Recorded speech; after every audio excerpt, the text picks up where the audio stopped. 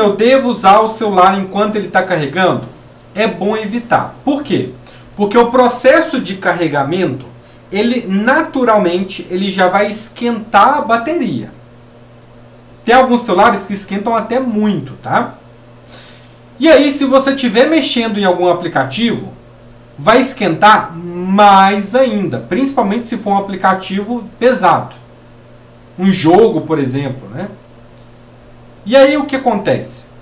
O celular, dispositivos eletrônicos, computador, tablet, celular, não gostam, não funcionam bem em altas temperaturas. Porque pensa que dentro tem peça de plástico, tem as soldas, tem várias coisinhas aqui dentro que se esquentar muito pode derreter, pode explodir, pode acontecer um monte de coisa.